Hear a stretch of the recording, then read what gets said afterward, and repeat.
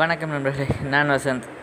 இன்றைக்கி நம்ம பார்க்க போகிற டாபிக் பார்த்திங்கன்னா ரீஒர்க் நார்மலாக நம்ம வந்து கம்மலில் ரீஒர்க் வந்துச்சுன்னா பார்ட் வந்து ரீஒர்க் பண்ணணும். அப்படின்னா ரீஒர்க் பண்ணுவோம் டக்குன்னு அதுக்கு முடிஞ்சோடனே செக் பண்ணிவிட்டு பார்ட்டை ஓகே ஃபைனல் இன்ஸ்பெக்ஷன் பார்த்து அனுப்பிடுவோம்.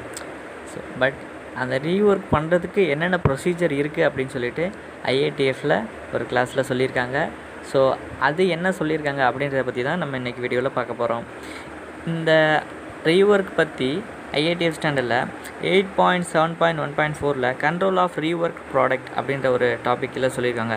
என்ன சொல்லியிருக்காங்க அப்படின்னு பார்த்தீங்கன்னா the organisation shall utilise risk analysis methodology to assess risk in the rework process prior to a decision to rework a product இங்கே என்ன சொல்கிறாங்க அப்படின்னா ஒரு ப்ராடக்டை வந்து நீங்கள் ரீஒர்க் பண்ணுறீங்க அப்படின்னு வச்சுங்களேன் அந்த ரீஒர்க் பண்ணும்போது என்னென்ன ரிஸ்கெல்லாம் இருக்குது அப்படின்றத முன்னாடியே வந்து நீங்கள் தீர்மானிக்கணும் அப்படின்னு சொல்லி சொல்லியிருக்காங்க.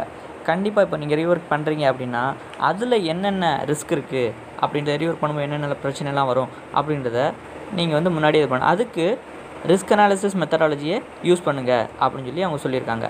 அப்புறம் என்ன சொல்லியிருக்காங்கன்னா if the record if record by the customer the organisations are obtain approval from the customer prior to commencing rework of product அதாவது இங்கே என்ன சொல்ல வர்றாங்க அப்படின்னா இப்போ நீங்கள் ரீஒர்க் பண்ணுறீங்க அப்படின்னா ஒரு வேளை கஸ்டமர்கிட்டேருந்து அப்ரூவல் வாங்கி தான் ரீஒர்க் பண்ணணும் அப்படின்னு சொல்லி கஸ்டமர் உங்களுக்கு சொல்லியிருந்தாங்கன்னா கண்டிப்பாக கஸ்டமர்கிட்டேருந்து அப்ரூவல் வாங்கி தான் அந்த ரீஒர்க்கை நீங்கள் ப்ரொசீட் பண்ணணும் அப்படின்னு சொல்லியிருக்காங்க.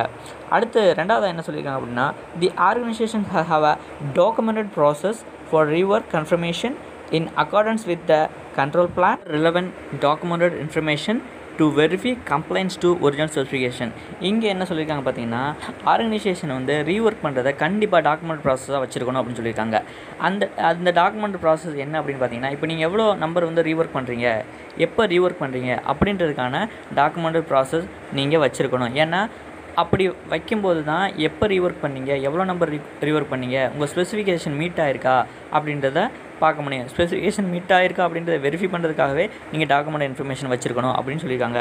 அடுத்து என்ன சொல்லியிருக்காங்க அப்படின்னு பார்த்தீங்கன்னா instruction for disassembly or rework including reinspection and traceability requirement shall be accessible to and utilised by a appropriate personnel அதாவது இப்போ நீங்கள் ரீஒர்க் பண்ணுறீங்க அப்படின்னா ரீஒர்க் பண்ணுறது மட்டும் பார்த்தாது ரீஒர்க் பண்ணுறதுக்கான ப்ரொசீஜர் வச்சுருக்கணும் அப்படின்னு சொல்லியிருக்காங்க. அது மட்டும் இல்லாமல் கண்டிப்பாக ரீஇன்ஸ்பெக்ஷன் பண்ணியே ஆகணும் அப்படின்னு சொல்லியிருக்காங்க. அப்புறம் ட்ரேசபிலிட்டி ரெக்குயர்மெண்ட் ரொம்ப ரொம்ப முக்கியம்.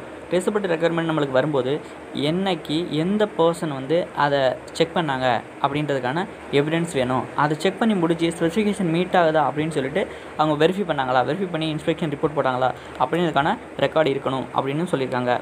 அதுக்கப்புறம் பார்த்திங்கன்னா shall be disable to and utilised by the appropriate person அதாவது அந்த ரீஒர்க் பண்ணக்கூடிய பர்சனானவர் கரெக்டாக அதாவது அதுக்கான நாலேஜ் இருக்குதா? கண்டிப்பாக பொருத்தமான அந்த வேலையை செய்கிறதுக்கு பொருத்தமான ஒருத்தர் தான் அந்த ரீஒர்க் பண்ண அலோவ் பண்ணணும். அப்புறம் பார்த்தீங்கன்னா ரீஒர்க் பண்ணுறதுக்கு மட்டும் கிடையாது. ரீஇன்ஸ்பெக்ஷன் பண்ணுறதுக்கும் பார்த்தீங்கன்னா ரீஇன்ஸ்பெக்ஷன் பண்ணி கரெக்டாக செக் பண்ணுறதுக்கும் அப்ராப்ரியேட் பர்சனை தான் நம்ம அங்கே விடணும் அப்படின்னு சொல்லி சொல்லியிருக்காங்க. அடுத்து பார்த்தீங்கன்னா last point the organisation shall retain document information and the disposition of rework product including quantity disposition disposition date and applicable traceability information அப்படின்னு சொல்லியிருக்காங்க. அதாவது அந்த ரீஒர்க் அண்ட் ரீஇன்ஸ்பெக்ஷன் பண்ணும்போது டாக்குமெண்ட் இன்ஃபர்மேஷனில் என்னென்னலாம் இருக்கணும் அப்படின்னு பார்த்தீங்கன்னா ரீஒர்க் பண்ணுறாங்க இல்லையா? ரீஒர்க் எந்த பர்சன் பண்ணுறாரு அவர் என்னைக்கு பண்ணுறாரு சரிங்களா? எவ்வளோ நம்பர் வந்து அவர் ரீஒர்க் பண்ணுறாரு ரீஒர்க் பண்ண நம்பரில் எவ்வளோ நம்பர் ஓகே எவ்வளோ நம்பர் ரிஜெக்ஷன் அப்படின்றதுக்கான டீட்டெயில் கம்ப்ளீட் டீட்டெயில் அதில் இருக்கணும் அப்படின்னு சொல்லி சொல்லியிருக்காங்க. ஸோ ரீஒர்க் பற்றி ஐஏடிஎஃப் ஸ்டாண்டர்டில் சொல்லப்படுறது இவ்வளோ தான் ஸோ இதில் ஏதாவது உங்களுக்கு கிளாரிஃபிகேஷன் இருந்தால் கேளுங்க. ஸோ சிம்பிளாக நம்ம நினச்ச ரீஒர்க்குள்ளே எவ்வளோ விஷயம் இருக்குது அப்படின்னு தெளிவாக புரிஞ்சிருக்கோம் அப்படின்னு நினைக்கிறேன் உங்களுக்கு இது வரைக்கும் பொறுமையாக நீங்கள் கேட்டதுக்கு நன்றி. நம்ம அடுத்த வீடியோவில் வந்து ரீஒர்க் என்ற பேர் ரெண்டுக்கும் உள்ள வித்தியாசம் என்ன வேறுபாடு என்ன அப்படின்றத பற்றி பார்ப்போம். நன்றி.